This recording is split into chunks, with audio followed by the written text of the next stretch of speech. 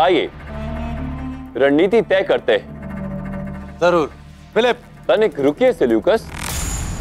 यहाँ पर उपस्थित सभी जनों में महामात्य आयु और अनुभव में हम सबसे श्रेष्ठ हैं। तो उनकी योग्यता और अनुभव के लिए ही सही। हमें रणनीति का प्रस्ताव प्रस्तुत करने के लिए सर्वप्रथम महामात्य को ही कहना चाहिए। कदाचित इनकी रणनीति सुनने के पश्चात आपको अपनी रणनीति बताने की आवश्यकता ही ना पड़े। हम मैसेडोनिया के जाबाज हैं शाह। हम उम्र पे नहीं काबिलियत पे विश्वास रखते हैं। पर आप हमारे दोस्त हैं और हम आपकी बात नहीं टालना चाहते हैं। देखते हैं आपके अमात्य क्या रणनीति लाए हैं। जो सही होगा वही तय करेंगे। अवश्य।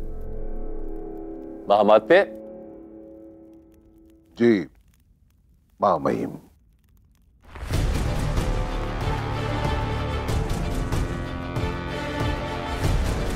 अब यदि किसी भी मोड़ पर आपको ये प्रतीत हो कि आपकी रणनीति सशक्त नहीं है तो मेरी ये रणनीति आपकी सहायक सिद्ध हो क्योंकि कहीं ना कहीं सम्राट और मेरी विचारधारणा एक ही है।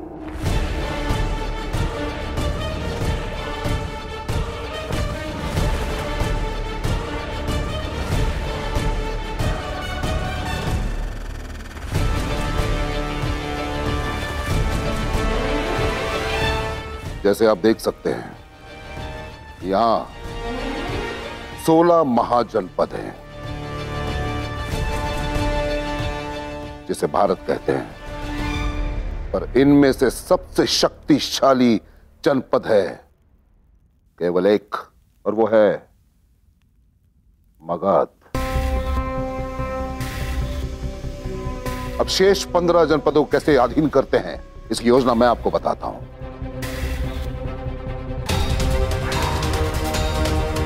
सर्वप्रथम।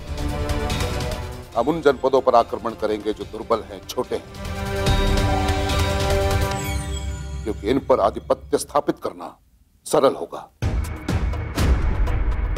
और इनसे हमारे सेना का मनोबल भी बढ़ेगा। और उसके पश्चात शेष बचे जनपदों पर हम आक्रमण करते जाएँगे और विजय प्राप्त कर लेंगे।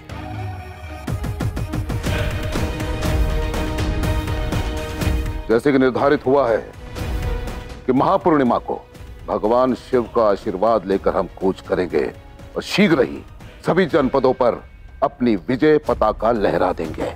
जब मंसूबा ही कमज़ोर होगा तो खुद खुदा भी हमें फतेह नहीं दिला सकता। आप स्पष्ट कह सकते हैं सिल्यूकस।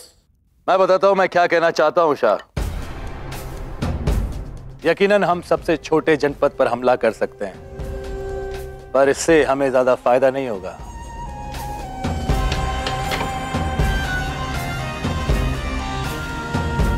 देखा आपने?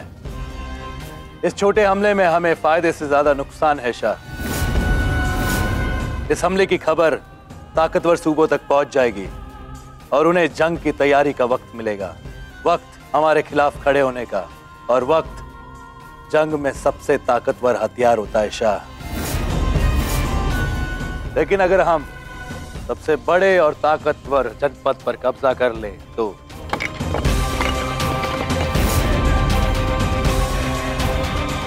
गौर किया आपने। क्या हुआ अभी एक मज़बूत खंबे के गिरते ही पूरी इमारत ढह गई।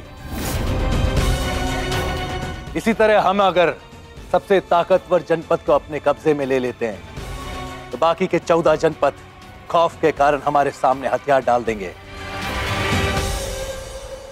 ये सोच हमारे खेमे के सबसे कम उम्र के और तजुर्बेकार फिलिप की है, जो अमात्या से तो उम्र में कई छोटा है। तो जैसा कि मैंने कहा शाह हम उम्र में नहीं, काबिलियत में अहमियत देते हैं। तो बताइए शाह क्या आप अब भी अपने अमात्य की रणनीति पर एतबार करते हैं?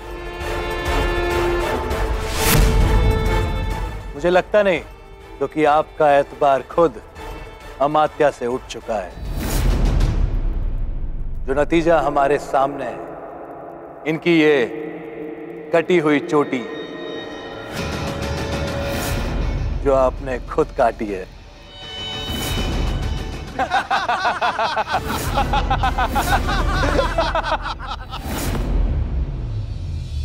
खैर शाह, बताइए।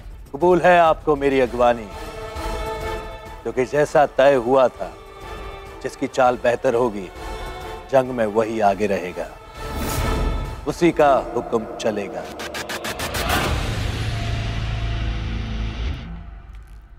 हाँ तुम्हारी रणनीति ही श्रेष्ठ है।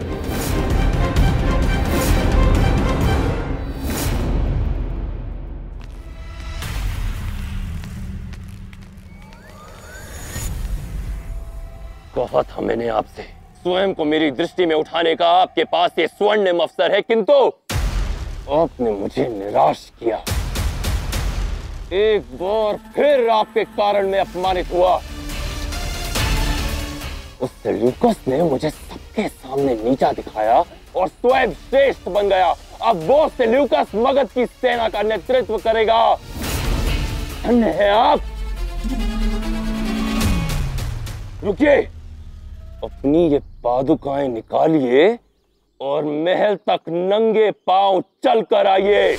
हाँ यही दंड है आपका महामात्य। वाह चंद्र, तुम्हारा निशाना तो अचूक है। अमात्य को स्वयं पर ही संदेह करवाकर तुमने अंतिम समय पर उनकी रणनीति बदल डाली। अब बारी है तुम्हारी योजना के अगले पड़ाव की।